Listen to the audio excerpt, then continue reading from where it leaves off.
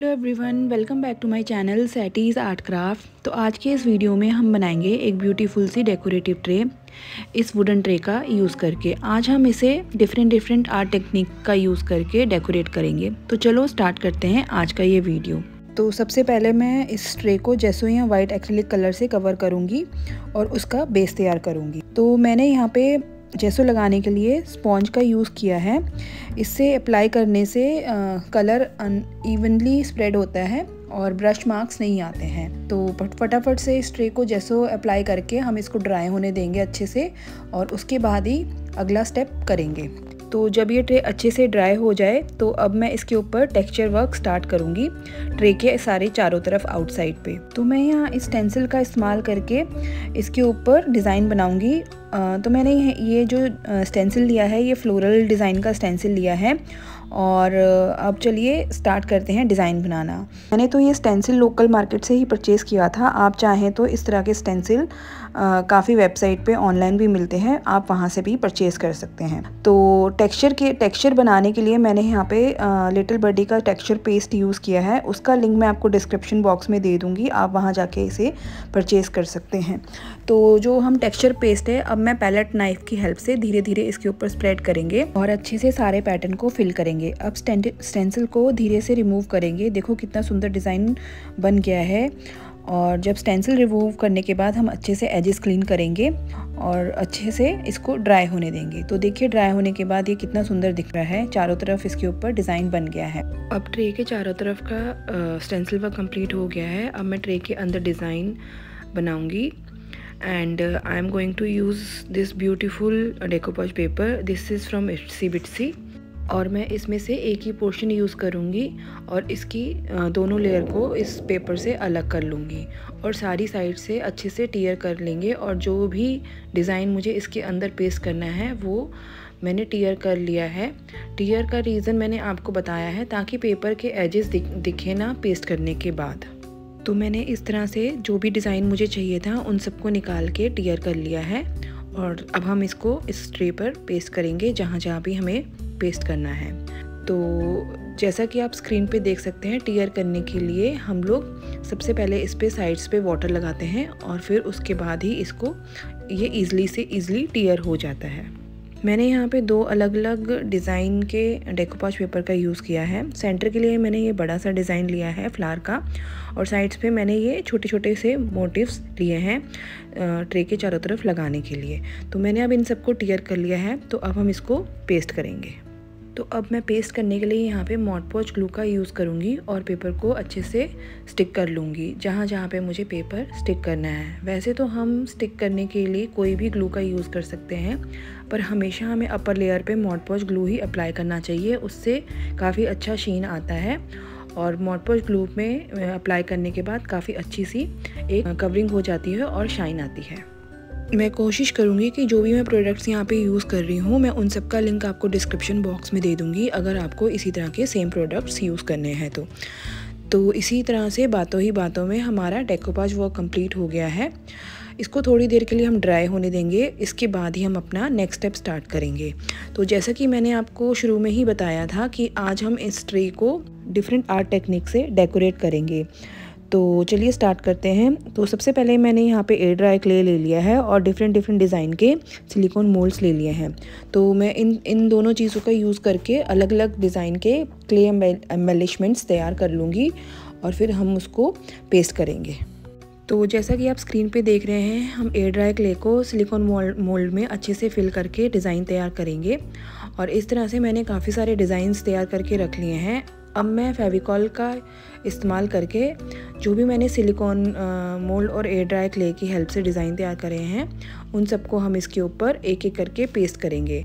वैसे तो air dry clay जब ड्राई नहीं होती है तो वो अच्छे से अपने आप ही पेस्ट हो जाती है, उसमें किसी एड्रेसिव की ज़रूरत नहीं पड़ती, बट इट्स बेटर कि हम हमेशा जब भी कभी एयर ड्राई क्ले के एम्बलिशमेंट चिपकाते हैं तो हम कोई अच्छा सा एड्रेसिव ही यूज़ करें, ताकि वो लॉन्ग लास्टिंग हो जाए। तो अब हम इन सबको कंप्लीट कर लेते हैं और अच्छे से सारे एम्बलिशमेंट इस ट्रे पर जहाँ जहाँ भी मुझे प्लेस करने हैं, उन सबको पेस्ट कर देते हैं।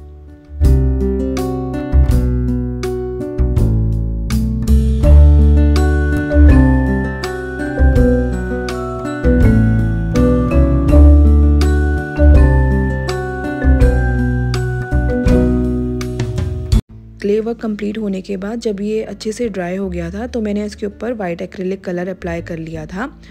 तो वैसे तो ये ट्रे अभी भी बहुत अच्छी लग रही है, काफ़ी सुंदर लग रही है, पर मुझे चैन का आने वाला है, मैं थोड़ा सा इसके ऊपर कलरिंग भी करूँगी। आप लोग मुझे कमेंट करके ज़रूर बताइएगा कि आपको ये ट्रे अभी अच्छी लग रही थी एज एज इट इज़ यहाँ कलरिंग करने के बाद। तो कलर करने के लिए मैंने यहाँ पे एक्रेलिक कलर का यूज़ किया है। आप चाहें तो चॉक पेंट का भी यूज़ कर सकते हैं। तो इस तरह से मैंने दो तीन कलर को मिक्स एंड मैच करके यहाँ पर इसके बेस को कलर आ, कर लूँगी। तो वैसे तो डेकोपॉच की ले, जो पेपर होता है, उसकी बेस से हम कलर मैच करते हैं। पर यहाँ पे मेरा जो डेकोपॉच पेपर का बेस है, वो वाइट है। तो मैंने यहाँ पे डिज़ाइन से मिलते जुलते हुए कलर लिए हैं और उनसे ही मैं शेडिंग दे रही हूँ। इसी तरह से शेडिंग देते हुए मैं इसकी कलरिंग कंप्लीट करूँगी और बेस कलर हो जाने के बाद मैं थोड़ा सा डिज़ाइन जो है, उसे हाईलाइट करूँगी और लीव्स और फ्लावर को डिज़ाइन देकर उसको कंप्लीट लुक दूँगी। It's completely up to you. अगर आप इस पार्ट को स्किप करना चाहते हैं तो आप स्किप कर सकते हैं, बट थोड़ी थोड़ी सी सेम कलर से शेडिंग दे के इसको कंप्लीट लुक दे सकते हैं। तो आप देख सकते हैं, मैंने यहाँ पे इसको कंप्लीट लुक देने के लिए सेम, ऑलमोस्ट सेम कलर का ही इस्तेमाल किया है, और उन्हीं से मैं यहाँ पे लीव्स और बाकी की डिटेलिंग दे रही हूँ। तो इसी तरह से हमारा कलर कंप्लीट हो गया है अंदर की साइड अब मैं आ, इस ट्रे को बाहर से भी कलर कर लूँगी। तो उसके लिए मैंने कुछ ब्राउन के शेड्स और वाइट को मिक्स करके एक अच्छा सा कलर तैयार कर लिया है। अब मैं इस कलर से इसके आउटर लेयर को भी कलर कर दूँगी और इसको कंप्लीट करेंगे। वैसे तो हम इसको किसी भी अपने मनचाहे कलर से पेंट करके ब्राइटर कलर से पेंट करके कंप्लीट कर सकते हैं। बट मुझे यहाँ इस ट्रे को थोड़ा सा विंटेज लुक देना था, इसलिए मैंने ये प्यारा सा कलर यूज़ किया है। कलर करने के बाद हम उसको ड्राई होने देंगे, तब तक हम अपनी एम्बेलिशमेंट्स को भी कलर कर लेंगे। उसके लिए मैंने यहाँ पे डार्क ब्राउन कलर लिया है और उसमें थोड़ा सा वाटर मिक्स कर लिया है। और वाटर मिक्स करने के बाद मैं एम्बेलिशमेंट के ऊपर ये कलर अप्लाई करूँगी और उसको वेट टिश्यू से पहुँच दूँगी। ऐसा मैंने इसको शेडिंग देने के लिए किया है क्योंकि इसको मुझे पूरा कवर नहीं करना है और बहुत स्पेसिफिक भी नहीं होना है बिकॉज़ हम इसको ऐसे ही शेडिंग देंगे विंटेज लुक देने के लिए। तो ये बहुत ही अच्छा और ब्यूटीफुल दिखेगा। और जो भी हमने क्ले से डिज़ाइन बनाया है वो काफ़ी अच्छे से हाईलाइट हो जाएगा।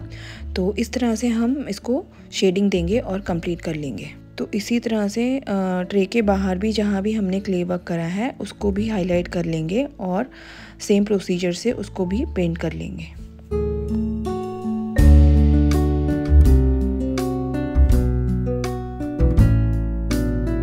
तो क्ले पे जो हमने शेडिंग दी है, उसको शेडिंग देने के बाद यह बहुत ही अच्छा लग रहा है और बहुत ही अच्छे से जो है डिज़ाइन उभर के आया है। तो अब जो हमने स्टेंसिल वर्क किया था, अब उसके ऊपर भी हम थोड़ी थोड़ी सी शेडिंग देंगे। उसके लिए मैंने यहाँ पे वाइट कलर लिया है और ड्राई ब्रश की हेल्प से मैं इसके ऊपर थोड़ी थोड़ी सी शेडिंग दूँगी।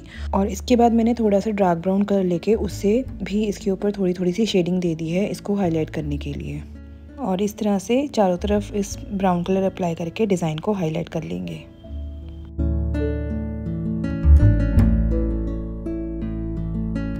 इसी तरह से टॉप वाले पार्ट को भी इसी कलर से हाईलाइट कर लूँगी और इसको कंप्लीट करूँगी। कलर कंप्लीट होने के बाद अब हम इस ब्यूटीफुल सी ट्रे को सील कर लेंगे और रेजिन से। रेजिन में ले रही हूँ अगेन इट्सी बिट्सी का। This is really really good इसकी क्लैरिटी काफ़ी अच्छी आती है। एंड इसका जो रेशो है वो टू इज़ टू वन है। तो अब इसको हम अच्छे से मिक्स कर लेंगे और मिक्स होने के बाद मैंने यहाँ काफ़ी थिन लेयर अप्लाई की है और अप्लाई करने के बाद इसे हम एक दो दिन के लिए ड्राई होने के लिए छोड़ देंगे। तो ड्राई होने के बाद you can see how beautiful this tray is looking ये कम्प्लीटली वाटरप्रूफ है. हम इसे किसी भी तरीके से डेकोरेट कर सकते हैं और यूज़ कर सकते हैं और किसी ओकेजन पे किसी को गिफ्ट भी कर सकते हैं। और इसी टेक्निक का यूज़ करके आप कोस्टर्स भी बना सकते हैं। तो आज के लिए इतना ही। If you like the video please like share and subscribe my channel और कमेंट करके ज़रूर बताइएगा कि आपको आज का ये वीडियो कैसा लगा। Thanks for watching bye